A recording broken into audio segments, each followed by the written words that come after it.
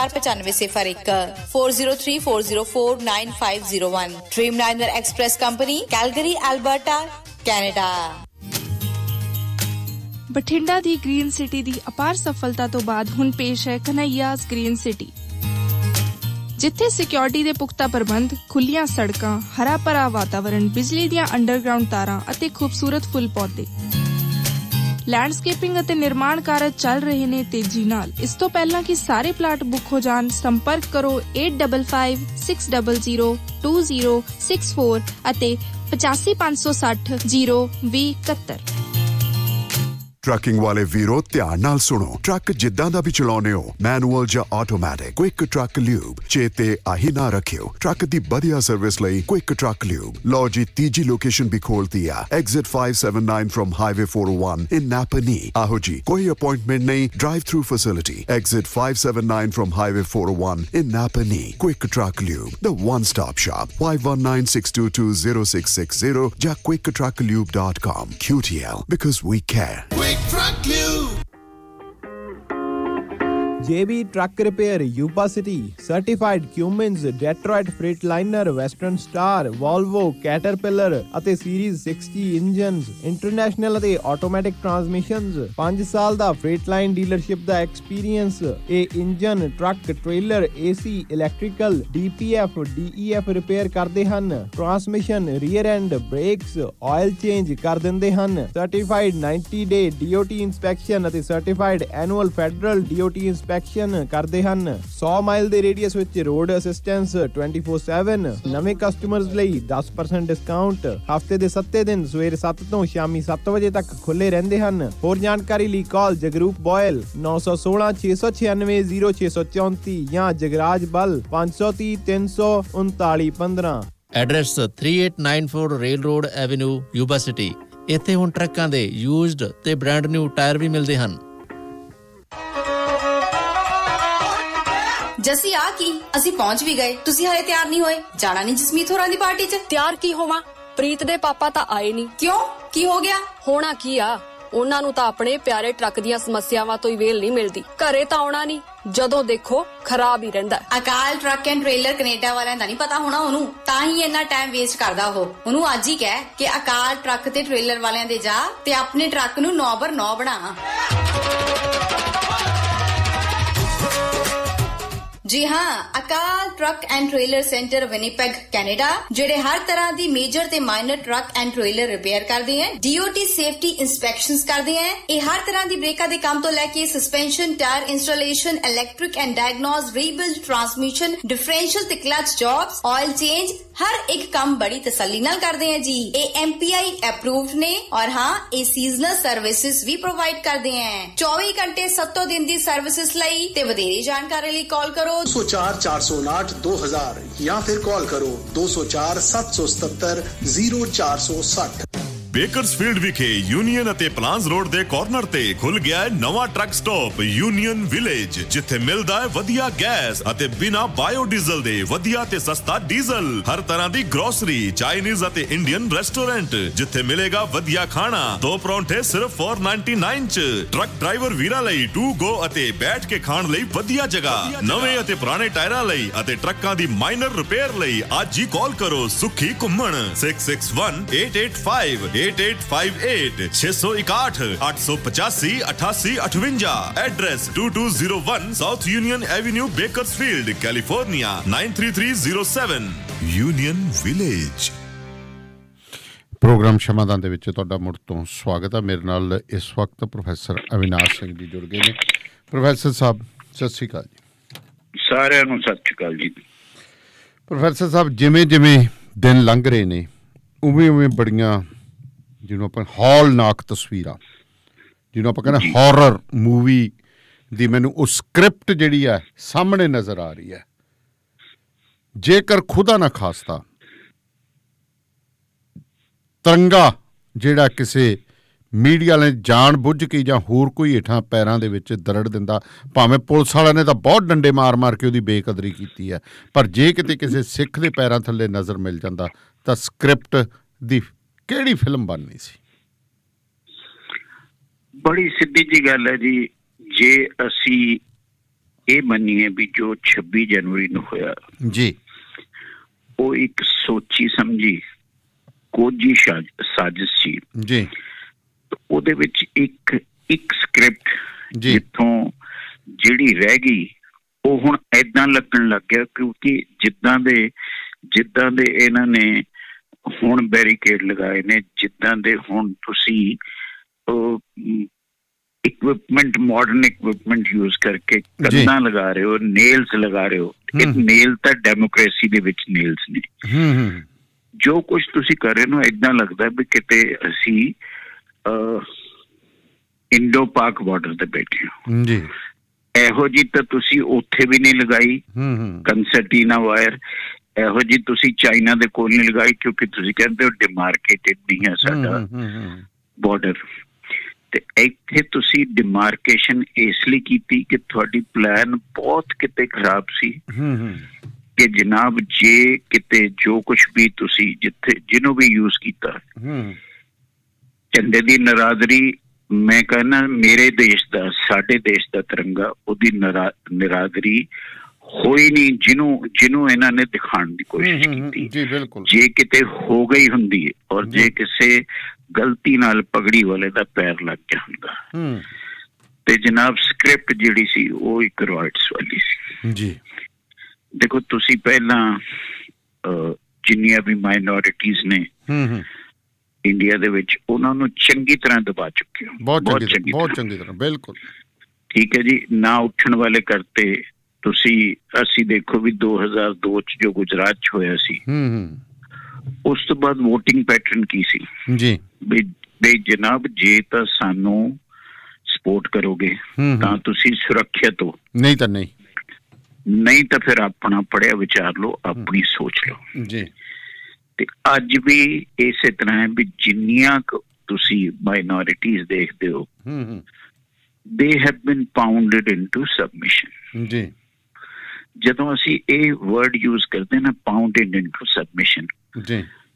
ਉਹ ਜਿਹੜੀ ਜਿਹੜੀ ਕੋਈ ਕਮਿਊਨਿਟੀ ਰਹਿ ਗਈ ਸੀ ਉਹਨੂੰ ਨਹੀਂ ਕੀਤਾ ਉਹਦੇ ਲਈ ਤੁਹਾਡੀ ਬਿਲਕੁਲ ਇੱਕ ਸਕ੍ਰਿਪਟ ਤਿਆਰ ਸੀ। ਕਿਉਂਕਿ ਦੇਖੋ ਉਸ ਕਮਿਊਨਿਟੀ ਲਈ ਜਿਹਨੇ ਜਿਹਨੂੰ ਜਿਸ ਨੇ ਸਾਰਾ ਦੇਸ਼ ਤੁਹਾਡੇ ਖਿਲਾਫ ਖੜਾ ਕਰ ਦਿੱਤਾ।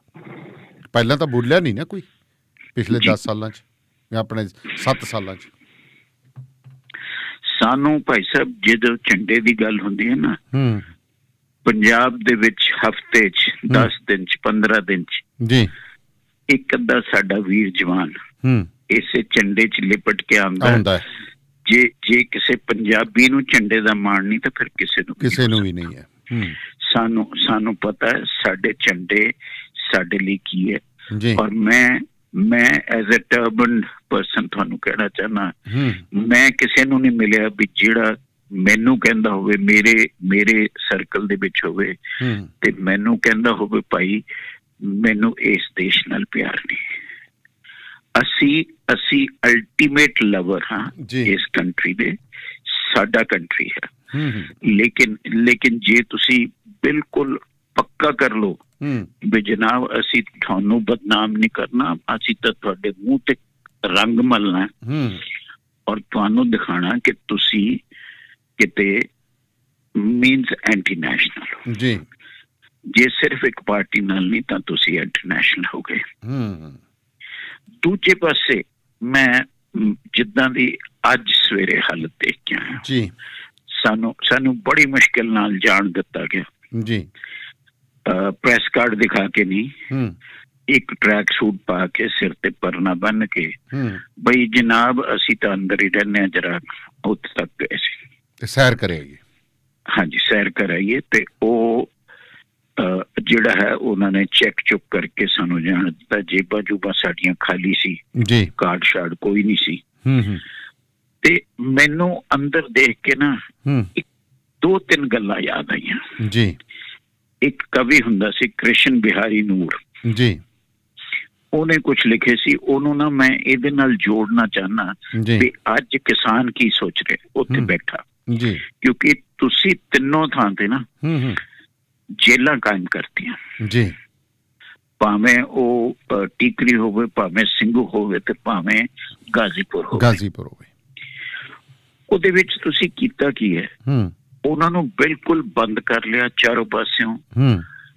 ਨੇਲਸ ਲਗਾ ਲੀਆਂ ਅੱਜ ਸਿਰਫ ਖੋੜਾ ਦੇ ਬੰਦਿਆਂ ਨੇ ਤੁਹਾਨੂੰ ਦੱਸਿਆ ਜਾ ਕੇ ਪੁਲਿਸ ਵਾਲਿਆਂ ਨੂੰ ਵੀ ਜਨਾਬ ਇਹਨਾਂ ਨੇਲਸ ਨੇ ਸਾਡਾ ਕੀ ਕੰਮ ਖਰਾਬ ਕੀਤਾ। ਜੀ। ਅਸੀਂ ਅਸੀਂ 8-8 ਕਿਲੋਮੀਟਰ ਦਾ ਚੱਕਰ ਲਗਾ ਰਹੇ ਹਾਂ। ਜੀ। ਮਯੂਰ ਵਿਹਾਰ ਤੋਂ ਕੁਝ ਲੋਕ ਪੈਦਲ ਕੰਮ ਕਰਨ ਆਉਂਦੇ ਸੀ। ਹੂੰ ਹੂੰ। ਕੁਝ ਲੋਕ ਸਾਈਕਲ ਤੇ ਆਉਂਦੇ ਸੀ। ਉਹਨਾਂ ਦੇ ਰਸਤੇ ਬੰਦ ਹੋ ਗਏ। ਹੂੰ ਹੂੰ। ਖੋੜਾ ਦੇ ਵਿੱਚ ਪਹਿਲਾਂ ਖੋੜਾ ਇੱਕ ਇਹੋ ਜੀ ਕਾਲਨੀ ਸੀ ਜਿਹੜੀ NH9 ਨੂੰ ਪੁਰਾਣਾ NH24 ਜਿਹਨੂੰ ਅੱਜ ਕੱਲ ਅਸੀਂ ਮੇਰਠ ਐਕਸਪ੍ਰੈਸਵੇ ਕਹਿੰਦੇ ਹਾਂ ਮੇਰਠ ਐਕਸਪ੍ਰੈਸ ਜਿੱਥੇ ਬੈਠੇ ਨੇ ਕਿਸਾਨ ਮੌਕੇ ਤੇ ਬੈਠੇ ਨੇ। ਜੀ। ਜੀ। ਉਹਦੇ ਤੇ ਡਾਇਰੈਕਟ ਐਕਸੈਸ ਹੁੰਦਾ ਸੀ। ਜੀ। ਜਦੋਂ ਤੁਸੀਂ ਮੇਰਠ ਐਕਸਪ੍ਰੈਸ ਹਾਈਵੇ ਬਣਾਇਆ ਉਹ ਥੱਲੇ ਰਹਿ ਗਏ। ਹੂੰ। ਤੇ ਉਹਨਾਂ ਦੇ ਜਾਣ ਲਈ ਚਾਰ ਰਸਤੇ ਹੁੰਦੇ ਸੀ। ਅੱਜ ਇੱਕ ਰਸਤਾ ਹੈ ਮੀਨਸ ਇੱਕ ਨਾਰਮਲ ਬੰਦੇ ਨੂੰ ਜੀ। 2 ਤੋਂ 2.5 ਕਿਲੋਮੀਟਰ ਦਾ ਵਾਲਾ ਪੈਂਦਾ। ਹੈ।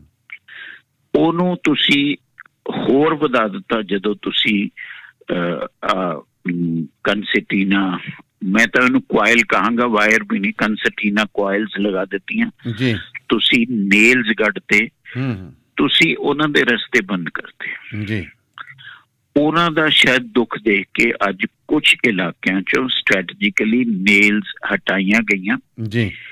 ਜਿਹੜੀਆਂ ਸੜਕ ਦੇ ਵਿਚਕਾਰ ਕੱਟੀਆਂ ਸੀ। ਪੈਸਾ ਕਿਹਨਾਂ ਦਾ?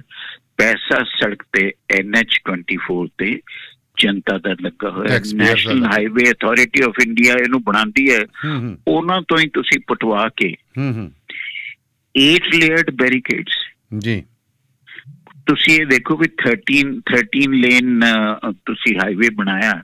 ਜੀ। ਉਹਦੇ ਤੁਸੀਂ ਬੈਰੀਕੇਡ ਬਣਾ ਦਿਓ ਇੱਕ ਹਿੱਸਾ ਛੱਡ ਲਿਆ। ਕਿ ਕੱਲ ਨੂੰ ਜਨਾਬ ਸਾਡੇ ਸਿਕਿਉਰਿਟੀ ਫੋਰਸਸ ਸਾਡੀਆਂ ਫੋਰਸਸ ਮੈਕਨਾਈਜ਼ਡ ਆਰਮਰਸ ਲੈ ਕੇ ਆਣ ਤੇ ਇਹਨਾਂ ਤੇ ਹਮਲਾ ਕਰ ਹਮਲਾ ਸਕਣ। ਕਰ ਜੀ। ਇਹ ਇੱਕ ਪਾਸਾ। ਲੇਕਿਨ ਮੈਂ ਮੈਂ ਦੁਬਾਰਾ ਕ੍ਰਿਸ਼ਨ ਬਿਹਾਰੀ ਨੂਰ ਤੇ ਇਸ ਲਈ ਆਨਾ ਕਿ ਉੱਥੇ ਉੱਥੇ ਮੈਨੂੰ ਕੀ ਲੱਗਾ? ਹੂੰ ਹੂੰ। ਵੀ ਇੱਕ ਕਿਸਾਨ ਕੀ ਸੋਚਦਾ जी जिंदगी से बड़ी सजा ही नहीं हम्म आगे क्या जुल्म है पता ही नहीं पता ही नहीं हम्म, इतने हिस्से में बंट गया हूं मैं जी मेरे हिस्से का क्या बचा पता ही नहीं वो ਉਹ ਕੁਛ ਨਹੀਂ ਮਤਲਬ ਤੁਸੀਂ ਇਸ ਵੇਲੇ ਇੱਕ ਬੜੀ ਚਲਾਕੀ ਨਾਲ ਗਾਜ਼ੀਪੁਰ ਨੂੰ ਹੈੱਡਕੁਆਟਰ ਬਣਾਤਾ ਹੈ जी ਸਿੰਘੂ ਸਿੰਘੂ ਜਿਹੜਾ ਹੈ ਉਹ ਬਿਲਕੁਲ ਟੋਟਲ ਹਾਈ ਸਿਕਿਉਰਿਟੀ ਪ੍ਰਿਜ਼ਨ ਹੈ। ਅੱਛਾ ਜੀ ਸਿੰਘੂ ਦਾ ਹਰਿਆਣੇ ਵਾਲੇ ਪਾਸੇ ਵੀ ਇਸੇ ਤਰ੍ਹਾਂ ਹੀ ਕਰ ਦਿੱਤਾ ਜੀ? ਮੈਂ ਮੈਂ ਤੁਹਾਨੂੰ ਸਿੰਘੂ ਨੂੰ ਤਾਂ ਬਿਲਕੁਲ ਬੰਦ ਕਰਤਾ। ਜਿਹੜਾ ਟੀਕਰੀ ਵਾਲਾ ਟੀਕਰੀ ਵਾਲੇ ਚ ਹਜੇ ਵੀ ਇਹਨਾਂ ਨੇ ਲਾਇਆ ਲੇਕਿਨ ਟੀਕਰੀ ਦੇ ਵਿੱਚ ਇੱਕ ਫ਼ਰਕ ਹੈ। ਜੀ। ਤਾਨੇ ਵਾਲੀ ਇਹ ਸਭ ਟੀਕਰੀ ਚ ਨਾ ਬਹਾਦਰਗੜ੍ਹ ਬਾਈਪਾਸ ਤੇ ਹੂੰ ਹੂੰ। ਅੱਗੇ 13 ਤੋਂ 15 ਕਿਲੋਮੀਟਰ ਜੀ। ਤੱਕ ਕਿਸਾਨ ਦੂਰ ਦੂਰ ਖੜੇ ਬਹੁਤ ਖੜੇ ਹਾਂ ਜੀ ਉਹ ਆਪਣਾ ਪ੍ਰਬੰਧ ਹਜੇ ਵੀ ਕਰੀ ਜਾਂਦੇ ਜੀ। ਵਿਚਕਾਰ ਏਡ ਮਿਲਣ ਲੱਗ ਗਈ ਸੀ ਹੁਣ ਉਹਨਾਂ ਨੂੰ ਕਿਹਾ ਜਾਂਦਾ ਕਿ ਤੁਸੀਂ ਇੱਥੋਂ ਹਟੋ। ਟਿਕਰੀ। ਟੀਕਰੀ ਦੇ ਵਿੱਚ। ਲੇਕਿਨ ਟੀਕਰੀ ਮੇਨ ਜਿਹੜਾ ਏਰੀਆ ਸੀ ਜੀ। ਉਹਨੂੰ ਜਿਸ ਤਰ੍ਹਾਂ ਕਾਬਜ਼ ਕੀਤਾ ਉਹ ਸਿੰਘੂ ਤੋਂ ਕੁਝ ਪਰਸੈਂਟ ਥੱਲੇ ਹੋਏਗਾ। ਜੀ। ਗਾਜ਼ੀਪੁਰ ਲਈ ਇੱਕ ਰਸਤਾ ਛੱਡ ਦਿੱਤਾ ਗਿਆ। ਹੂੰ। ਗਾਜ਼ੀਪੁਰ ਤੇ ਇਸ ਵੇਲੇ ਰੋਜ਼ ਪੋਲੀਟੀਸ਼ੀਅਨ ਆ ਰਿਹਾ। ਜੀ। ਇਹ ਠੀਕ ਹੈ ਉਹ ਸਟੇਜ ਤੇ ਨਹੀਂ ਚੜਦੇ ਲੇਕਿਨ ਇੱਕ ਮਾਸਟਰ ਸਟ੍ਰੋਕ ਹੈ। ਜੀ। ਜਿਹਦੇ ਵਿੱਚ ਨਾ ਇੱਕ ਥੋੜਾ ਜਿਹਾ ਸ਼ੱਕ ਹੋਣ ਲੱਗ ਗਿਆ। 2018 ਦੇ ਵਿੱਚ ਜੀ। ਸਪਟੈਂਬਰ 2018 ਦੇ ਵਿੱਚ ਕਿਸਾਨਾਂ ਨੇ ਆਵਾਜ਼ ਉਠਾਈ ਸੀ। ਜੀ। ਯੂਪੀ ਦੇ ਵਿੱਚ ਹੂੰ। ਔਰ ਹਰਿਆਣਾ ਦੇ ਵਿੱਚ ਕਿ ਜਾਟ ਜਿਹਨੂੰ ਅਸੀਂ ਜਾਟ ਅੰਦੋਲਨ ਕਹਿੰਦੇ ਬਿਲਕੁਲ ਬਿਲਕੁਲ ਹਾਂ। ਜੀ ਉਸ ਵੇਲੇ ਉਹ 17 ਚ ਵੀ ਹੋਇਆ ਸੀ ਜੀ। ਉਸ ਵੇਲੇ ਕੀ ਕੀਤਾ ਗਿਆ ਸੀ? ਉਸ ਵੇਲੇ ਤੁਸੀਂ ਇਹ ਕਿਹਾ ਸੀ ਕਿ ਜਾਟਾਂ ਨੂੰ ਆਰਕਸ਼ਣ ਦਿਓ। ਜੀ। ਉਹਦੇ ਚ ਜੱਟ ਨਹੀਂ ਸੀ ਆਂਦੇ ਜਾਟ।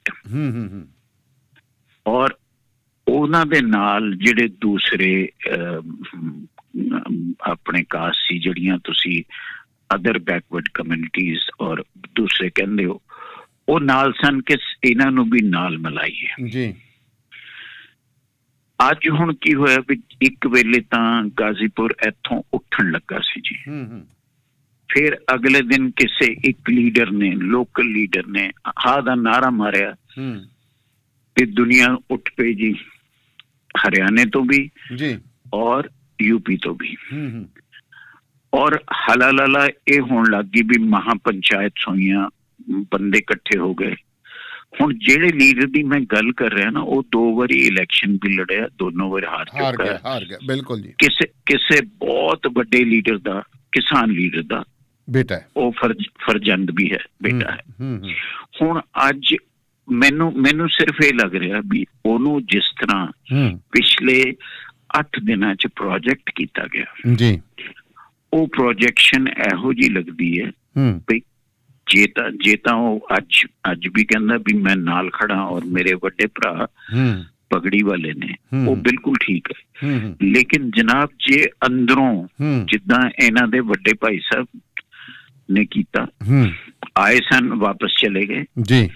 ਜਿਸ ਤਰ੍ਹਾਂ ਵੀਐਮ ਸਿੰਘ ਨੇ ਕੀਤਾ ਕਿਉਂਕਿ ਉਹ ਪਹਿਲੇ ਦਿਨ ਤੋਂ ਕਹਿ ਰਹੇ ਸੀ ਵੀ ਅਸੀਂ ਤਾਂ ਜੇ ਇਲੈਕਸ਼ਨ ਲੜਨੀ ਹੈ ਔਰ ਕਿਸਾਨ ਪਾਰਟੀ ਚਾਹੀਦੀ ਜੀ।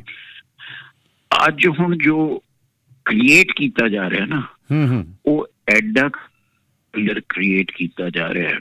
ਜੀ। ਤੇ ਜੇ ਉਹ ਸਰਕਾਰੀ ਡਿਜ਼ਾਈਨ ਹੋਇਆ ਹੂੰ ਹੂੰ। ਤੇ ਫਿਰ ਅਸੀਂ ਕਹਿ ਸਕਦੇ ਹਾਂ ਕਿ ਇਸ ਤੋਂ ਵੱਡੀ ਦਾਣੇ ਵਾਲੀ ਸਭ ਟਾ ਨਹੀਂ ਲੱਗਣ ਵਾਲੀ। ਗਦਾਰੀ ਨਹੀਂ ਹੋ ਸਕਦੀ ਜੀ।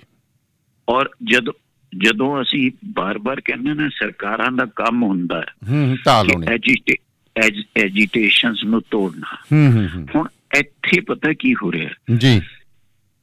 ਹਮੇਸ਼ਾ ਸਰਕਾਰ ਕੁਛ ਨਾ ਕੁਛ ਇਹੋ ਜਿਹਾ ਲੱਭਦੀ ਹੈ ਜਿਹੜਾ ਤੁਸ ਤੁਹਾਡੀ ਤੇ ਮੇਰੀ ਸੋਚ ਤੋਂ ਪਰੇ ਹੁੰਦਾ। ਪਰੇ ਹੁੰਦਾ ਬਿਲਕੁਲ ਬਿਲਕੁਲ। ਹੁਣ ਕਿਤੇ ਇਹ ਹੈ ਵੀ ਕੱਲ ਨੂੰ ਉਹਨੂੰ ਕਹਿ ਦੇਣ ਵੀ ਤੂੰ ਆ ਜਾ। ਹੂੰ। ਤੇ ਤੇਰੇ ਜਾਟਾਂ ਨੂੰ ਤਾਂ ਆਰਕਸ਼ਣ ਦੇਤੀ। ਹੂੰ। ਉਹਦੇ ਉਹਦੇ ਚ ਹੋਣ ਕੀ ਵਾਲਾ ਹੈ? ਇੱਕ ਤੀਰ ਨਾਲ ਤਿੰਨ ਚਾਰ ਨਿਸ਼ਾਨੇ ਜੀ। ਪੰਜਾਬ ਨੂੰ ਤੇ ਪਗੜੀ ਵਾਲਿਆਂ ਨੂੰ ਅਲੱਗ ਕਰ ਦਿਓ। ਜੀ। ਹੋ ਗਏ। ਮਤਲਬ ਕੱਲ ਕੱਲ ਗੁਰਨਾਮ ਸਿੰਘ ਚੜੂਨੀ ਭਾਵੇਂ ਉਹਨਾਂ ਦੇ ਨਾਲ ਬੈਠਾ ਸੀ ਚੀਨ ਦੇ ਵਿੱਚ। ਜੀ। ਲੇਕਿਨ ਗੁਰਨਾਮ ਸਿੰਘ ਚੜੂਨੀ ਨੇ ਉਹ ਉਹਦੀ ਉਹਦੀ ਆਦਤ ਵੀ ਹੈ। ਉਹਨੇ ਆਪਣਾ ਵੀਡੀਓ ਵੀ ਰਿਲੀਜ਼ ਕਰਤਾ ਜਨਾਬ। ਇਹ ਆਦਮੀ ਖਤਰਨਾਕ ਹੈ ਬਚ ਜਿਓ। ਜੀ। ਹੁਣ ਸਾਡੇ ਕੋਲ ਹੋਰ ਹਿੰਟ ਬੜਿਆ ਹੈ ਵੀ ਆਪਣਾ ਸਿੰਘੂ ਤੋਂ। ਹੈੱਡਕੁਆਟਰ ਇੱਥੇ ਕਿੰਨਾ ਸ਼ਿਫਟ ਹੋਇਆ। ਜੀ। ਇੱਕ ਬੰਦਾ ਸੈਂਟਰ ਸਟੇਜ ਤੇ ਕਿੱਦਾਂ ਲਿਆਂਦਾ ਗਿਆ। ਹੂੰ ਹੂੰ। ਔਰ ਸਿਰਫ ਉਹਦੀ ਗੱਲ ਕਿੱਦਾਂ ਹੋ ਰਹੀ ਹੈ ਉਹਨੂੰ ਅਸੀਂ ਭਗਵਾਨ ਬਣਾ ਲਿਆ। ਜੀ। ਉਹਦੇ ਵਿੱਚ ਜੇ ਕਿਤੇ ਸ਼ਰਾਰਤ ਹੋਵੇ ਤਾਂ। ਸ਼ਰਾਰਤ ਨੰਬਰ 1 ਤਾਂ 26 ਜਨਵਰੀ ਦੀ ਸੀ। ਜੀ ਬਿਲਕੁਲ। ਜੇ ਉਹ ਹੋ ਜਾਂਦੀ ਸੀ ਤੇ ਕਤਲੇਆਮ ਸੀ। ਹੂੰ ਹੂੰ। ਤੇ ਜੋ ਹੁਣ ਤੁਸੀਂ ਡਿਜ਼ਾਈਨ ਬਣਾ ਰਹੇ ਹੋ ਜੀ। ਉਹ ਇਹ ਹੈ ਵੀ ਪਿੱਠ ਵਿੱਚ ਇਹੋ ਜਿਹਾ ਛੁਰਾ ਕੋਪੋ ਵੀ ਦੁਬਾਰਾ ਉੱਠੋ ਨਾ। ਉੱਠ ਨਾ ਸਕਣ। ਜੀ।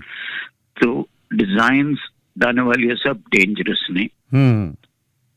ਔਰ ਮੈਂ ਮੈਂ ਤੁਹਾਨੂੰ ਕਹਾਂਗਾ ਕਿ ਮੈਂ ਅੱਜ ਸਵੇਰ ਤੋਂ ਅਪਸੈਟ ਸਿਰਫ ਇਸ ਗੱਲ ਤੋਂ ਹਾਂ। ਜੀ।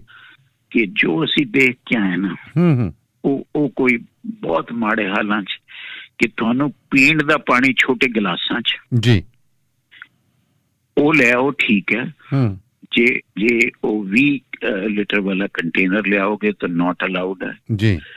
ਜੇ ਪਾਣੀ ਦਾ ਟੈਂਕਰ ਆਊਗਾ ਦਿੱਲੀ ਜਲ ਬੋਰਡ ਦਾ ਤਾਂ ਉਹ 4 ਕਿਲੋਮੀਟਰ ਦੂਰ ਖੜੇ ਹੈ। ਹੂੰ। ਯੂਪੀ ਤੋਂ ਪਾਣੀ ਲੋਕੀ ਜਿਹੜੇ ਆਏ ਉਹ ਪੈਦਲ ਆਪਣੇ ਪਿੰਡਾਂ ਵਾਲੇ ਸਿਰ ਤੇ ਰੱਖ ਕੇ ਲਾਏ ਜੀ। ਉਹ ਵੀ ਅਲਾਉਡ ਹੈ। ਹੂੰ।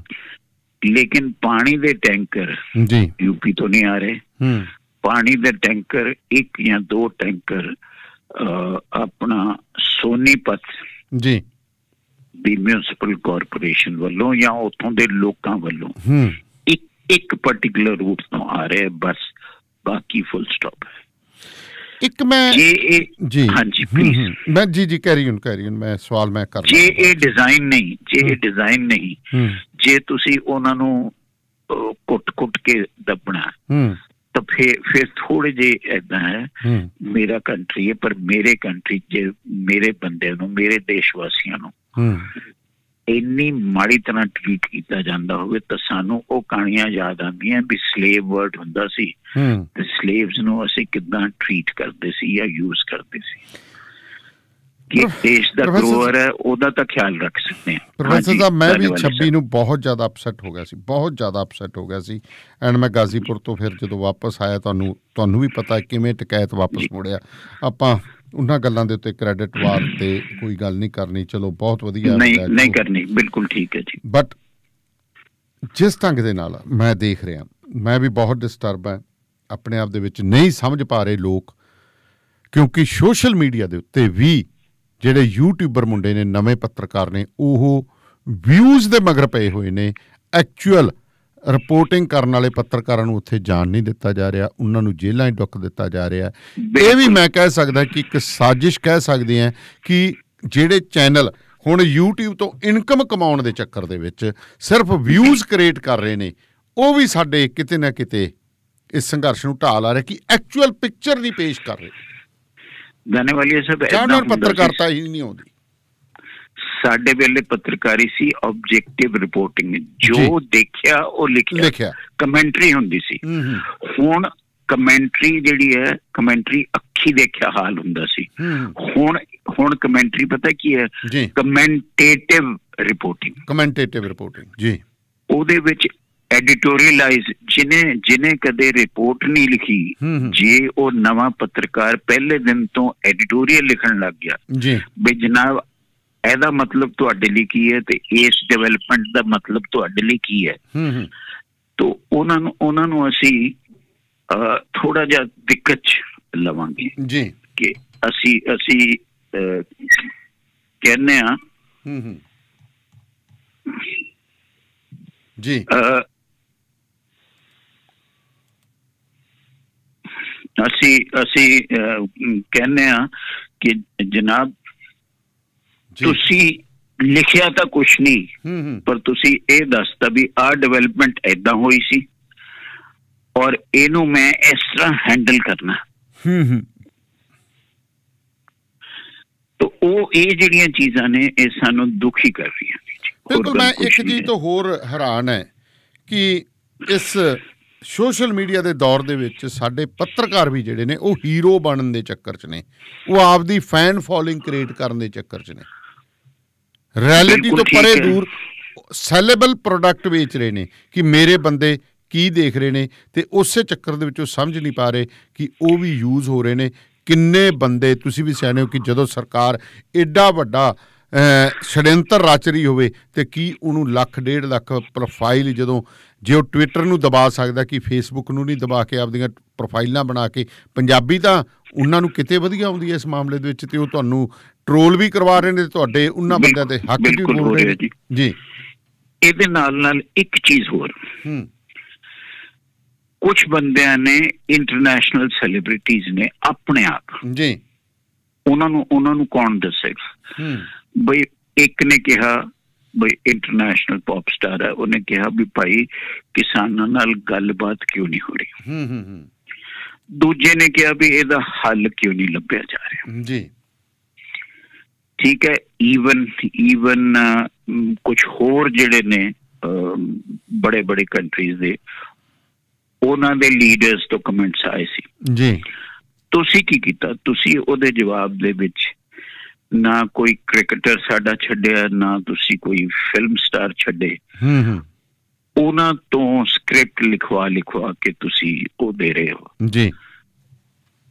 ਜਿਹੜੇ ਬੰਦੇ ਉਹਨਾਂ ਚੋਂ ਅੱਜ ਦੋ ਤਿੰਨ ਓਬੀਸੀ ਨਾਂ ਨਹੀਂ ਲੈਣੇ ਹਨ। ਦੋ। ਤਿੰਨ ਉਹ ਵੀ ਬੰਦੇ ਸੀ ਜਿਹੜੇ ਕਹਿੰਦੇ ਸੀ ਸਾਡਾ ਕਿਸਾਨਾਂ ਲਈ ਜਿਹੜਾ ਹੈ ਉਹ ਰਿਸਪੈਕਟ ਹੈ। ਜੀ।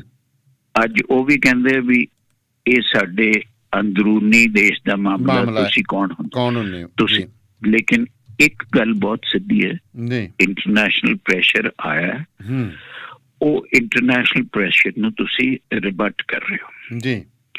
ਉਹ ਰਿਬਟਲ ਜਿਹੜਾ ਹੈ ਉਹ ਥਰੂ ਆਰਕੈਸਟ੍ਰੇਟਡ ਸੋਰਸਸ ਦੇ ਥਰੂ ਹੋਇਆ। ਜੀ। ਜੇ ਤੁਸੀਂ ਬਹੁਤ ਚੰਗੀ ਤਰ੍ਹਾਂ ਲੈਂਗੁਏਜ ਦੇਖ ਲਓ। ਤਾਂ ਐਦਾਂ ਲੱਗਦਾ ਵੀ ਮੈਂ ਤੁਹਾਨੂੰ ਇੱਕ ਸਕ੍ਰਿਪਟ ਦੇਤੀ ਉਹਨੂੰ ਮੋੜ ਤਰੋੜ ਕੇ ਜਿੱਦਾਂ ਮਰਜ਼ੀ ਤੁਸੀਂ ਕਰ ਲਵੋ। ਜੀ ਇੱਕ ਬੱਚੀ ਦੇ ਉੱਤੇ ਕੀ ਸਿੱਧ ਕਰਨਾ ਚਾਹੁੰਦੀ ਹੈ ਜਿਹੜੀ এনवायरमेंट ਲਿਸਟ ਹੈ ਵਿਚਾਰੀ? ਹੈ ਉਹਦੇ ਉੱਤੇ ਐਫ ਆਈ ਆਰ ਲੌਂਚ ਕਰਕੇ। ਬਾਲਰ। ਹਾਸੋਹੀਣੀ ਗੱਲ ਵੀ ਹੈ ਤੇ ਥੋੜਾ ਜਿਹਾ ਸ਼ਰਮਨਾਕ ਵੀ। ਜੀ। ਦੋਹੇ ਚੀਜ਼ਾਂ ਕਹਾਂਗਾ। ਹੂੰ ਹੂੰ।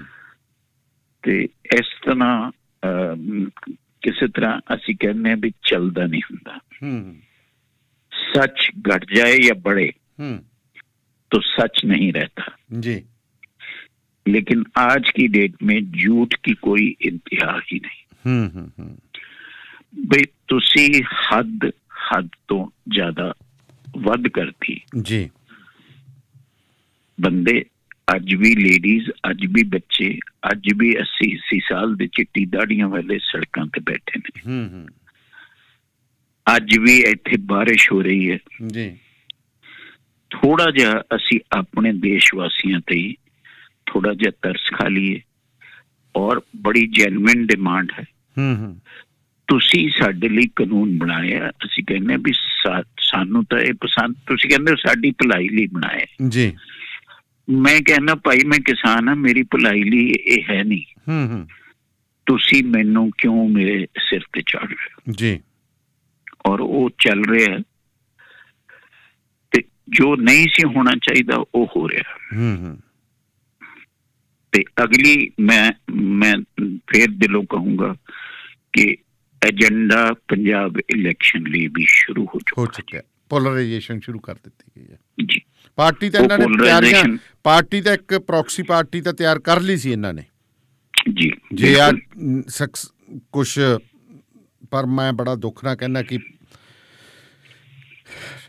ਆਪਣਾ ਮੇਰੇ ਤੋਂ ਵੀ ਨਹੀਂ ਸ਼ਬਦ ਨਹੀਂ ਮਿਲ ਰਹੇ ਮੈਨੂੰ। ਮੈਂ ਬਹੁਤ ਅਪਸੈਟ ਹਾਂ ਜਿਵੇਂ ਤੁਸੀਂ ਅਪਸੈਟ ਹੋ। ਕਿ ਬਹੁਤ ਕੁਰਲਾਏ ਸੀ ਅਸੀਂ। ਪਰ ਹਜੇ ਵੀ ਸਾਡੇ ਜਾਂ ਤਾਂ ਉਹ ਸਾਡੇ ਬੱਚੇ ਨਹੀਂ ਹੈਗੇ ਜਾਂ ਅਸਲ ਦੇ ਵਿੱਚ ਸਮਝ ਨਹੀਂ ਪਾ ਰਹੇ ਜਾਂ ਬਾਹਰ ਬੈਠੇ ਭਾਵਨਾਵਾਂ ਦੇ ਵਿੱਚ ਵਹਿ ਗਏ ਨੇ ਸਾਡੇ ਵੀਰ। ਕਿ ਉਹਨਾਂ ਨੂੰ ਇਹ ਨਹੀਂ ਪਤਾ ਵੀ ਉਹ ਸਿੱਖ ਸਟੇਟ ਦੀ ਗੱਲ ਕਰਕੇ ਬੰਦਾ ਇੱਥੇ ਪਹੁੰਚ ਗਿਆ ਕਿਹੜੇ ਸਿੱਖਾਂ ਦੀ ਗੱਲ ਕਰ ਰਿਹਾ?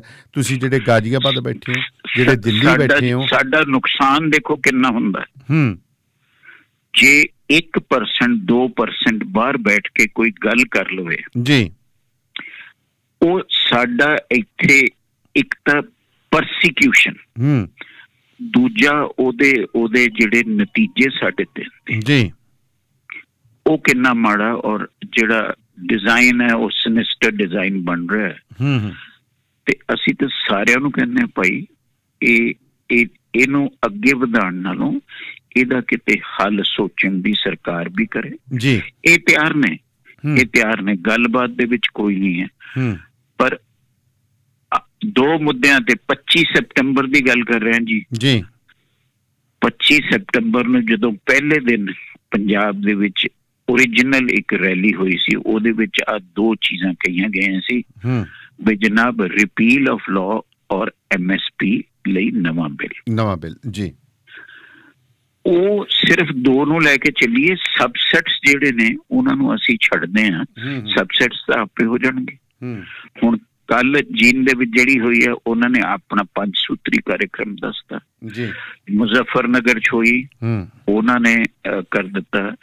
ਜਿਹੜੀ ਦੋ ਥਾਵਾਂ ਤੇ ਹੋਰ ਵੈਸਟਰਨ ਯੂਪੀ ਦੇ ਵਿੱਚ ਮਹਾ ਪੰਚਾਇਤਾਂ ਹੋਈਆਂ ਨੇ ਉਹਨਾਂ ਨੇ ਆਪਣਾ 10 ਸੂਤਰੀ ਕਾਰਜਕ੍ਰਮ ਦੱਸਤਾ। ਹੂੰ। ਕਨਫਿਊਜ਼ਨ ਜੀ। ਅਸੀਂ ਦੋ ਮੁੱਦਿਆਂ ਤੇ ਹਾਂ। ਹੂੰ। ਜੇ ਇਹਨਾਂ ਮੁੱਦਿਆਂ ਤੇ ਸਰਕਾਰ ਕਿਤੇ ਪਿੱਛੇ ਹਟਦੀ ਹੈ ਜਾਂ ਇਹ ਅੱਧਾ ਕਦਮ ਪਿੱਛੇ ਹਟਦੇ ਨੇ ਹੂੰ ਹੂੰ। ਤਾਂ ਫਿਰ ਸਰਕਾਰ ਨੂੰ ਵੀ ਜਿਹੜੇ ਅੱਜ ਵੀ ਬੱਚੇ ਗਾਇਬ ਨੇ ਜੀ। ਹੂੰ ਹੂੰ। ਅੱਜ ਵੀ ਨਵੀਆਂ ਨਵੀਆਂ ਚੰਗੀਆਂ ਚੰਗੀਆਂ ਮਸ਼ੀਨਾਂ ਉਹਨਾਂ ਦੇ ਤੁਸੀਂ ਟਾਇਰ ਟਿਊਬ ਕੱਢ ਲਏ ਉਹਨਾਂ ਦੇ ਇੰਜਨ ਕੱਢ ਲਏ ਹੂੰ ਹੂੰ। ਔਰ ਉਹ ਪਈਆਂ ਨੇ ਤੁਹਾਡੀ ਉਹਦੇ ਵਿੱਚ। ਉਹ ਵਾਪਸ ਹੋਣ ਵਿਦ ਇੰਸ਼ੋਰੈਂਸ ਵਾਪਸ ਹੋਣ। ਇਹ ਸਬਸੈਟਸ ਨੇ ਇਹ। ਸਬਸੈਟਸ ਨੇ। ਜਿਹੜੀ ਜਿਹੜੀ ਬੇਸਿਕ ਚੀਜ਼ ਹੈ ਨਾ ਕਿ ਜਿਹੜੀ ਜਿਹੜੀ ਚੀਜ਼ ਤੁਹਾਨੂੰ ਅੱਗੇ ਵਧਾ ਰਹੀ ਹੈ ਉਹਦਾ ਹੱਲ ਨਿਕਾਲੋ। ਹੂੰ। ਹੂੰ ਉਹਦਾ ਹੱਲ ਨਿਕਲਣਾ ਕਿਉਂਕਿ ਇਹ ਜਿਹੜੇ ਹੈ ਡੇਂਜਰਸ ਪ੍ਰੋਪੋਜੀਸ਼ਨ ਪ੍ਰੋਪੋਰਸ਼ਨਸ ਜਿਹੜਾ ਬਣ ਰਿਹਾ ਨਾ ਜੀ। ਉਹ ਇਸ ਵੇਲੇ ਸਾਨੂੰ ਸਾਰਿਆਂ ਨੂੰ ਇੱਕੋ ਹੀ ਖਦਸ਼ਾ ਹੈ।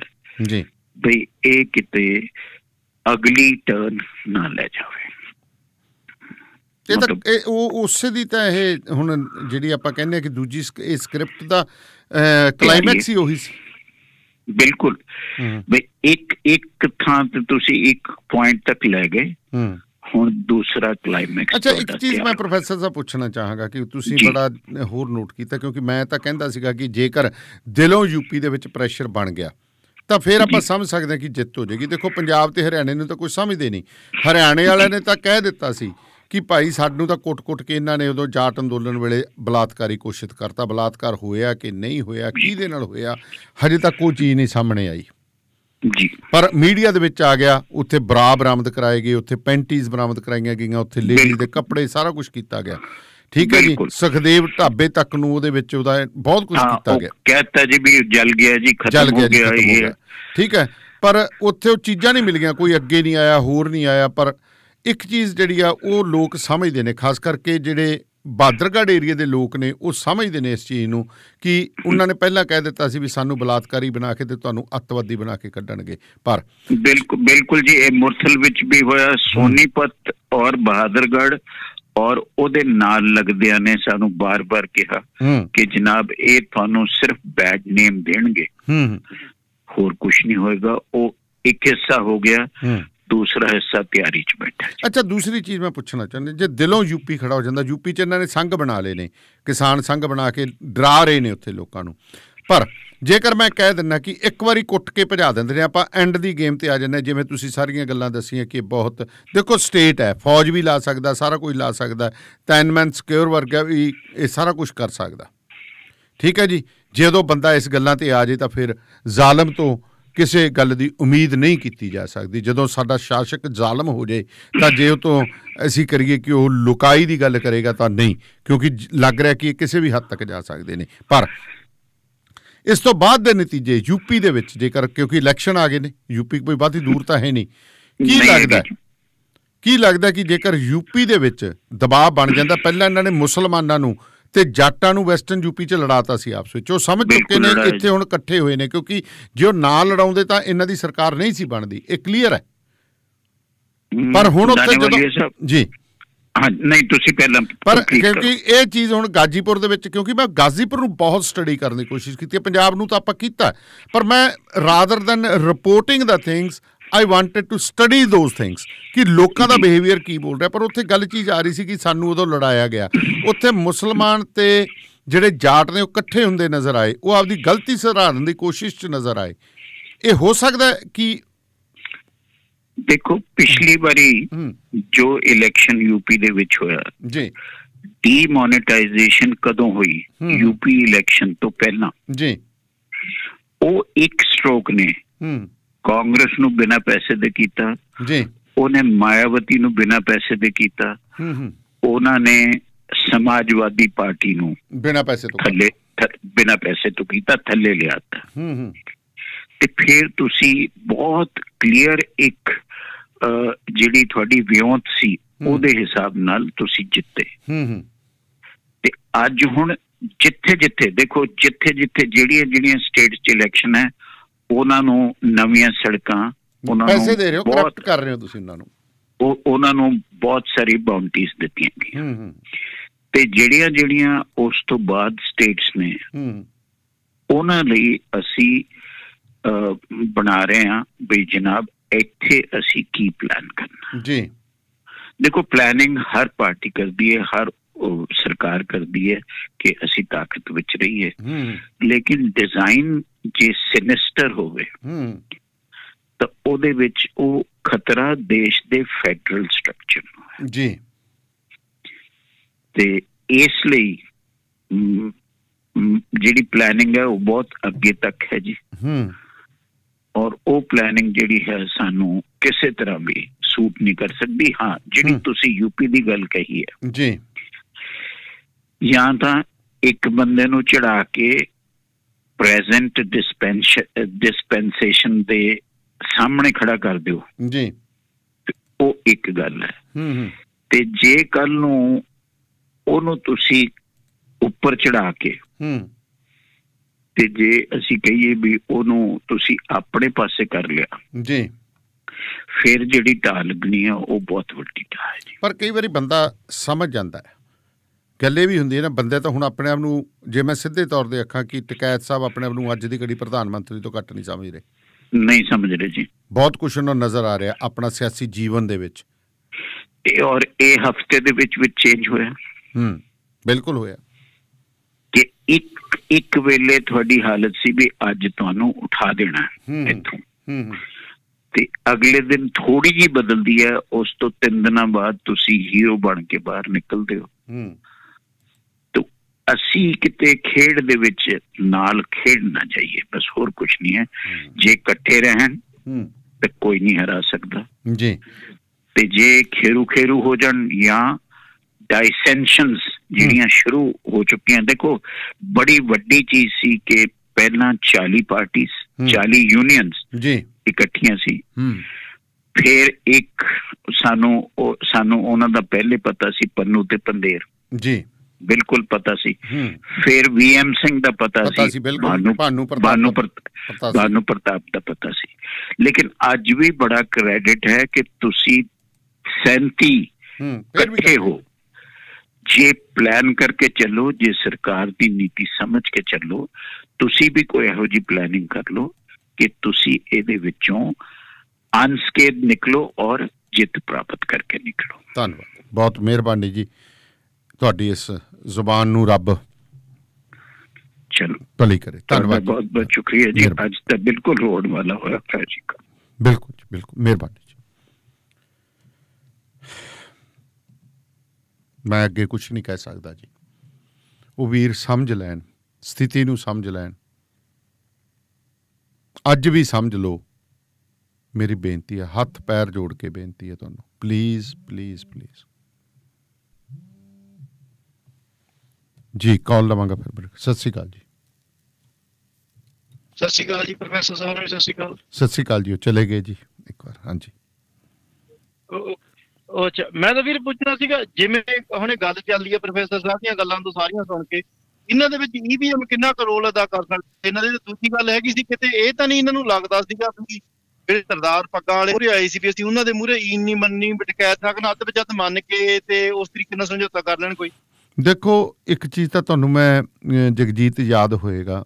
ਮੈਂ ਰੇਡੀਓ ਤੇ ਕਹਿੰਦਾ ਰਿਹਾ ਕਿ ਪੱਗ ਚੁਭਣੀ ਸ਼ੁਰੂ ਹੋ ਗਈ ਹੈ, ਕਿਉਂਕਿ ਪੰਜਾਬ ਨੇ ਪੰਜਾਬ ਦੇ ਦੇਖੋ ਪਹਿਲਾਂ ਭਾਰਤ 'ਚ ਕੋਈ ਨਹੀਂ ਸੀ ਇਹਨਾਂ ਦੇ ਅੱਗੇ ਬੋਲਿਆ। ਤੁਸੀਂ ਬੋਲੇ ਹੋ ਤਾਂ ਉਹਦੇ ਖਮਿਆਜਾ ਭੁਗਤਣ ਲਈ ਵੀ ਤਿਆਰ ਰਹਿਣਾ ਤੇ ਤੁਹਾਨੂੰ ਪਾੜਿਆ ਵੀ ਜਾਊਗਾ। ਐਂਡ ਬੜੀ ਵੱਡੀ ਹੱਦ ਤੱਕ ਕਾਮਯਾਬੀ ਹੋਏ ਨੇ। ਜੇਕਰ ਵੀਰ ਜੀ ਚਲੋ ਇਸ ਗੱਲ ਦੇ ਵਿੱਚ ਕਾਮਯਾਬੀ ਹੋ ਜਾਂਦੇ ਆਉਣ ਵਾਲੇ ਸਮੇਂ ਵਿੱਚ ਵੀ ਜੇ ਆਪਾਂ ਮੰਨ ਲਓ ਮੰਗਾ ਮੰਨੀਆਂ ਵੀ ਜਾਂਦੀਆਂ ਉਹਦਾ ਤਾਂ ਆਪਾਂ ਨੂੰ ਖਮਿਆਜ ਫਿਰ ਵੀ ਭੁਗਤਣਾ ਹੀ ਪੈਣਾ ਬਾਅਦ ਚ ਆਉਣ ਜਾਣ ਵਾਲਿਆਂ ਨੂੰ ਜਾਂ ਨਜਾਇਜ਼ ਦੇਖੋ ਨਹੀਂ ਦੇਖੋ ਗਾ ਰੱਬ ਭਲੀ ਕਰੇ ਜੀ। ਜੇ ਜਨਤਾ ਸਾਡੇ ਨਾਲ ਹੋਊਗੀ ਇਹ ਬੰਦੇ ਨਹੀਂ ਕੁਝ ਕਰ ਸਕਦੇ ਪਰ ਮਸਲਾ ਇਹ ਹੈ ਕਿ ਪਾਰਟੀ ਜਿਹੜੀ ਆ ਇਹਦੀ, ਜਿਹੜੀ ਅੰਦਰਲੀ ਸੋਚ ਆ, ਉਹਨੂੰ ਅਸੀਂ ਕਿੰਨਾ ਕੁ ਰੋਕ ਸਕਦੇ ਹਾਂ, ਉਹ ਗੱਲ ਹੈ ਧੰਨਵਾਦ ਤੁਹਾਡਾ ਜੀ, ਮਿਹਰਬਾਨੀ।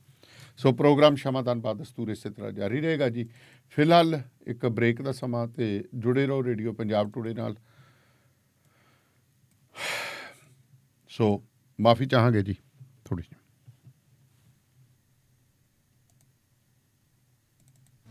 ਓਏ ਮੇਰੇ ਵੀਰ ਮੈਨੂੰ ਬਸ ਇੱਕ ਗੱਲ ਦੱਸ ਦੇ ਵੀ ਆ ਜਿਹੜੀ ਤੂੰ ਟਰੈਵਲਿੰਗ ਕਰਦਾ ਤੇ ਉਹਦੇ ਤੋਂ ਬਾਅਦ ਫਰੈਸ਼ ਰਹਿਣਾ ਇਹਦਾ ਰਾਜ਼ ਕੀ ਹੈ?